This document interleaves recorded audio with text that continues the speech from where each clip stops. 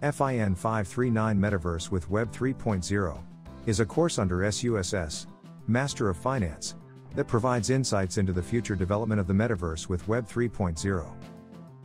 The course is conducted by both Professor David Lee Kuo Chuen and Dr. Wang Chiguo under SUSS School of Business. Students will get to understand the technology used in the metaverse and the impact of the convergence of technology with finance.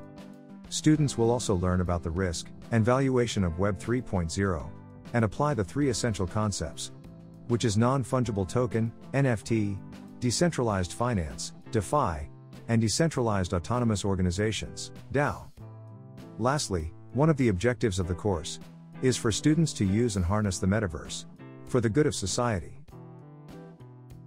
The course outline includes Introduction to Metaverse, Chat GPT and Generative AI, Web iterations, Web 3 and Web 3 Plus, spatial computing and game engines, virtual economy, NFT, DeFi, and lastly, smart contracts and DAOs.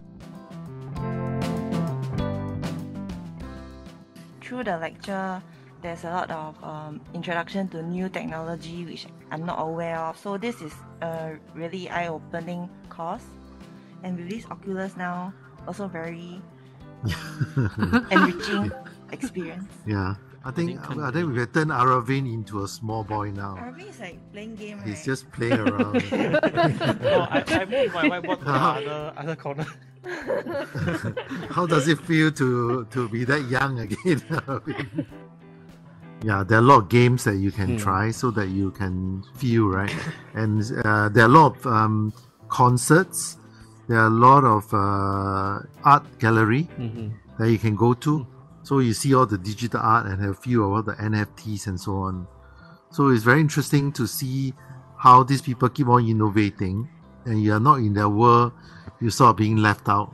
So I think mm, metaverse inclusion is something that is also very important that we need to think about. The equipment is too expensive now.